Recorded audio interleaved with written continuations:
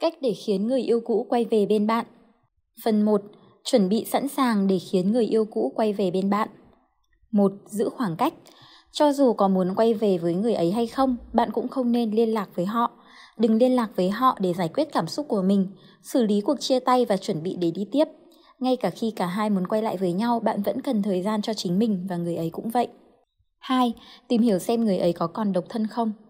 Trước khi cố gắng xác định xem liệu quay về với người yêu cũ có phải là quyết định đúng đắn hay không, bạn nên tìm hiểu xem người ấy có còn độc thân không.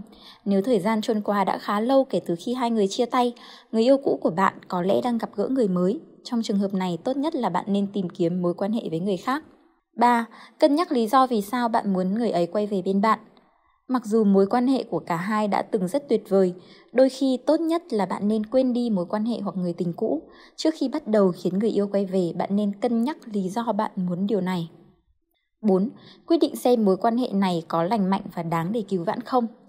Ngoài việc cân nhắc lý do vì sao bạn lại muốn đoàn tụ với người ấy, bạn cũng nên xem xét mối quan hệ của cả hai một cách tổng thể để quyết định xem liệu nó có đáng để hàn gắn hay không. Nếu cả hai chia tay vì mối quan hệ này không phù hợp với cả hai, bạn nên dành nhiều thời gian hơn để cân nhắc về mức độ xứng đáng của nó. 5. Liệt kê danh sách ưu khuyết điểm nếu bạn không chắc chắn. Nếu bạn có cảm giác lẫn lộn về lý do tại sao bạn muốn quay về bên người ấy và liệu mối quan hệ của bạn có đáng để cứu vãn, bạn nên thiết lập danh sách ưu và khuyết điểm để giúp bạn đưa ra quyết định. Bạn cần phải trung thực với chính mình trong quá trình liệt kê danh sách và không nên bỏ qua bất kỳ điều gì có vẻ nhỏ nhặt hoặc không đáng kể. Liệt kê mọi thứ để bạn có thể trông thấy bức tranh tổng thể về mối quan hệ của cả hai và đưa ra quyết định.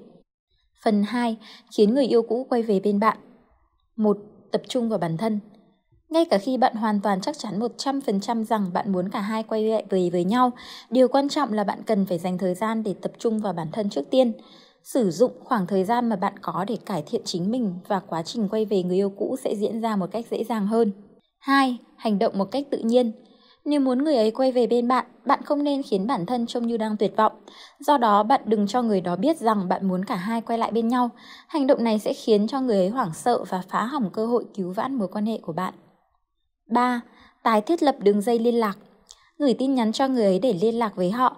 Nhắn tin là cách khá hay vì nó sẽ có vẻ tự nhiên hơn là gọi điện hoặc gửi email. Tin nhắn cũng sẽ ít khi được chia sẻ hoặc thảo luận. Vì vậy đây là phương án riêng tư để giao tiếp với người ấy. 4. Hẹn người ấy đi uống cà phê hoặc đi ăn trưa. Thời điểm tốt nhất để gặp nhau là vào ban ngày, vì như vậy sẽ có vẻ ít nghiêm trọng hơn buổi gặp mặt vào ban đêm. Bạn nên hỏi xem liệu người ấy có muốn đi uống cà phê hoặc đi ăn trưa cùng bạn. Điều này sẽ cung cấp cho bạn cơ hội để gặp gỡ và tan bầu không khí e dè và quyết định xem bạn có muốn tiếp tục theo đuổi việc hòa giải với người ấy hay không. 5. Nhắc người yêu cũ nhớ về kỷ niệm đẹp. Trò chuyện về kỷ niệm đẹp là cách khá tốt để thắp lên ngọn lửa ngày xưa.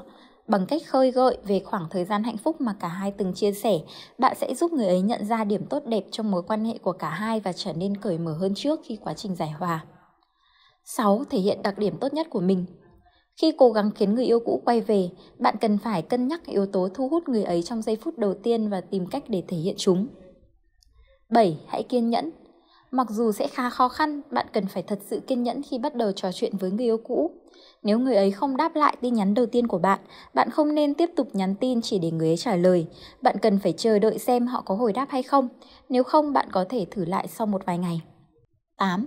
Quan sát dấu hiệu hào hứng. Nếu người ấy không trả lời bất kỳ tin nhắn nào của bạn, hoặc trông có vẻ lạnh lùng khi bạn trò chuyện, tốt nhất bạn nên giả định rằng đoàn tụ sẽ không phải là một lựa chọn tốt trong thời điểm này. Phần 3. Trò chuyện về việc quay về bên nhau. một Trình bày suy nghĩ của bạn. Tại một thời điểm nào đó, bạn sẽ phải nói cho người yêu cũ biết về cảm giác của bản thân và điều bạn muốn thực hiện.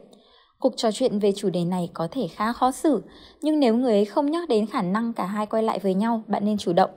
Bạn cần phải bảo đảm rằng bạn thể hiện sự sẵn sàng trong việc cải thiện mọi thứ và thực sự quan tâm đến việc cả hai quay về bên nhau. 2. Chuẩn bị sẵn sàng để trò chuyện về vấn đề hai bạn đã có trong khoảng thời gian bên nhau trước đây. Thảo luận về lý do hai cả hai chia tay là điều không thể tránh khỏi. Người yêu cũ có thể sẽ nghi ngờ về sự trưởng thành hoặc sẵn sàng thay đổi của bạn. Vì vậy bạn cần phải trấn an họ. 3. Cam kết thay đổi. Nếu bạn nói rằng bạn sẽ cố gắng cải thiện một vài thứ hoặc cam kết thay đổi bản thân theo một cách nào đó, bạn nên sẵn sàng thực hiện như đã hứa. Nếu bạn không giữ lời hứa, mối quan hệ của bạn sẽ sớm kết thúc một lần nữa. 4. Lường trước sự từ chối. Trong nhiều trường hợp, việc nối lại tình cũ sẽ không thể xảy ra. Nếu người ấy không sẵn sàng để thử lại, bạn nên tôn trọng họ bằng cách trung thực với bản thân và không ép buộc hoặc gây phiền nhiễu để người ấy phải quay về bên bạn.